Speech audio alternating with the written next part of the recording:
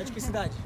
Campinas, Valinhos, da Lógica Digital. do- Fala rapaziada, aqui é o Angelote. Um abraço aí pra rapaziada de Campinas, da empresa digital, valeu? Tamo junto. Valeu.